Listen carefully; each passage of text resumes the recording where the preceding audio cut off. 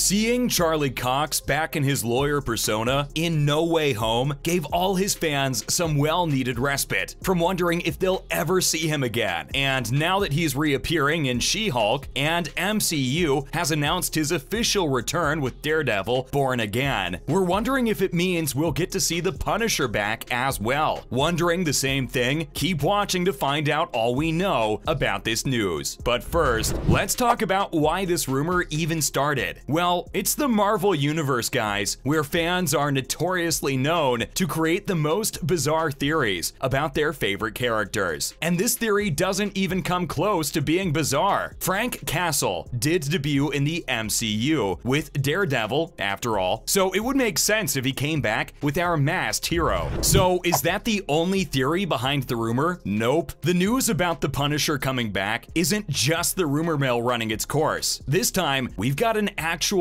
insider who's mentioned his return. That's right, someone broke the MCU code of silence again. And this time, that someone is Rosario Dawson, whose character, Claire Temple, has starred in all of the MCU shows on Netflix except The Punisher. In fact, it was this very fact that she shared at the Chicago Comic and Entertainment Expo as she talked about The Punisher's return. In a video shared by Matt Ramos on Twitter, we see her speaking about how she heard yesterday that The Punisher is coming back. Yeah, if that's not proof of his return, we don't know what is. She also mentioned how excited she is to work with Jon Bernthal and that she really wants to make it happen. And okay, she did walk back on her comment and tweeted how she can't be trusted and that this was a fan rumor she believed in. But guys, can we really believe it was a fan theory she was quoting? Not likely. She's far too experienced to quote a fan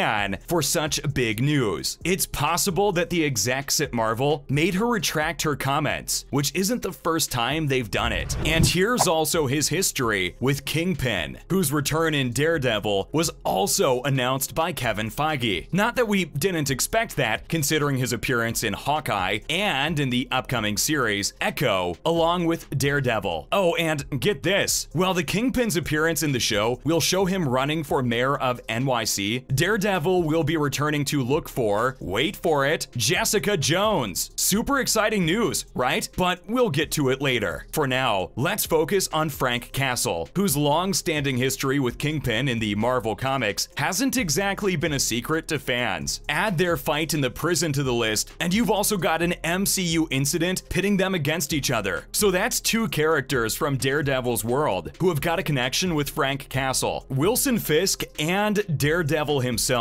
Coincidence? It could be, but this is the Marvel Universe we're talking about, where characters are known to infiltrate each other's shows and movies quite often, even if they don't have any connection to each other, which isn't the case with these three either. Guys, isn't that enough evidence for the Punisher's return to the MCU? Let's also not forget the snap. Yes, that snap. We don't know what happened to the defenders after it. They may have survived or may have been wiped out. It's very possible that either Murdock or Castle were blipped out of the universe, only to come back to a world where Wilson Fisk is back in power. Even the title of the show indicates that Daredevil's been born again. This could be symbolic considering the show's return to us in a different universe, but it could also mean he's born again after being blipped from existence. And this time, we'll see his version of the events when he comes back. This also gives him enough motive to partner up with Frank Castle to defeat Kingpin. And it just makes sense from MCU's fan service perspective because if, after all this time, they're reintroducing a beloved Marvel character in their universe, they'll probably add a little surprise for us to find in the show as well. So, yeah, guys, all that evidence sums up our conclusion about the news that the Punisher will definitely be reintroduced to the MCU. Oh, and he's not the only character fans are expecting to return to the universe. There are also rumors about Kilgrave. Now, that's news we'll turn up the volume for, because Kilgrave, the Purple Man, back to the MCU with Daredevil, that just sounds like a joke, right? Only it isn't, because believe it or not, Kilgrave's relation to Daredevil may just be stronger than with Jessica, considering how he made his first comic debut in Daredevil number 4, almost 60 years ago. Considering that, and the fact that Matt Murdock will make an an appearance in Echo looking for Jones has given fuel to fan theories speculating how Kilgrave may just be another entry in the MCU with Daredevil. Whether he'll make an appearance in Echo or the Devil's own show is obviously unclear. So is the fact that whether he'll even come back or not. But admit it, it's super fun to speculate anyway. Oh, and there's also Jessica herself, who may or may not appear in the MCU. We still don't know if Matt Murdock looking for her in Echo will actually result in him finding her or not. Marvel definitely hasn't mentioned her return, and Rosario also didn't mention her during her faux pas. So it's safe to say that the reintroduction of these two characters may just be speculation at this point, and nothing else. As for the Punisher though, we're fully expecting him to show up guns blazing. And this may be a little pushy, but maybe he'll give us a lesson or two about gun safety in one of his tirades. Or maybe, and this is us just having our fun, we'll see Frank Castle in a small cottage, far off in the woods, with a family, having retired from violence altogether, living a happy life where he frequently breaks a tree or two just to channel his anger. Too much? Yeah, we thought so too. But at least we're on the same page about his return, right? And now that we've established that, how about we explore some other news about the MCU and Daredevil himself? First up, we have some rumors about a lighthearted Daredevil. Wait, is that even possible? Well, it's not impossible, per se, but having seen the masked hero fight all the gore and violence, only to return as a toned down version of himself, would that even work? We do agree that Netflix's way of telling their stories was definitely different. That's what made the shows so epic in the first place. But with Disney being, well, Disney, and after all the drama that went down with parents hating on Deadpool, fans have shown concern that Daredevil and any other possible Defender shows may not have the same grit as they did before. Even Jessica Gao, writer of She-Hulk, has suggested that. This quickly sent fans to a Twitter frenzy, where they've since then been debating whether Daredevil without the devilish spin would even work or not. Some have said that Charlie Cox is such a great actor, he can pull it off easily. Others have said that of course, the show won't be without its humor. Matt Murdock can't stay away from his dry jokes. Now can he? We just hope it isn't an outright comedy though, because that would definitely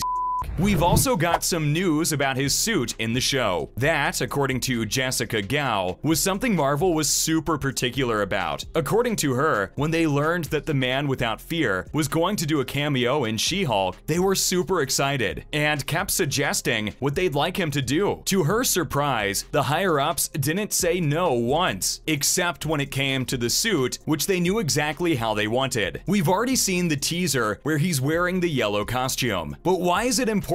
And why are Marvel execs so secretly particular about it? Well, for one, it's the very first costume the Masked Devil donned in the comics, way back in 1964. And because Marvel's super into showing some comic-related costumes in Phase 4, this could be their way to officially welcome the original Daredevil into the MCU, as opposed to the Netflix one we're used to seeing. We'll also be seeing him all animated in his black and gray outfit in Spider-Man freshman year. But is it a trend that'll follow him in his show as well? Maybe, but we hope he goes back to the red, along with that super chilling intro theme. Somehow, we just can't picture it all in yellow. Can you? And finally, we have news about Bullseye, or Benjamin Dex Poindexter, who appeared as the faux Daredevil on Netflix in the show's third season. Last we saw him, his fate was left unresolved, much like the entire show to be fair, and we haven't heard anything about him except in rumors and theories. But now that a Thunderbolts film is in development, it's likely that he'll star as part of Marvel's version of the Suicide Squad. Sure, that doesn't follow the exact comic storyline, but when has the MCU stayed super true to the comics? That's a wrap for this video. What's your take on the Punisher's return in Daredevil Born Again? Let us know in the comments below. Make sure to give this video a thumbs up and subscribe to our channel for more videos like this. See you in the next one.